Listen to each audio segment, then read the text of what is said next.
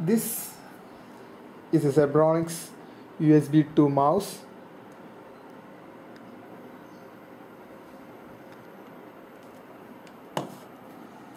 And I am going to attach it to my laptop. This is the USB jacket.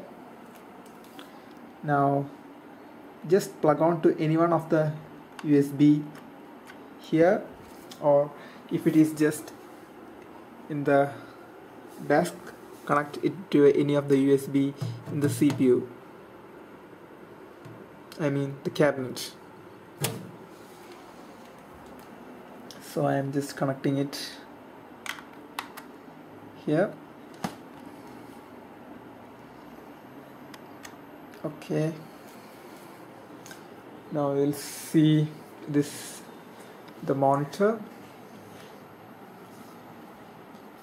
see I am controlling it with my mouse. And uh, see?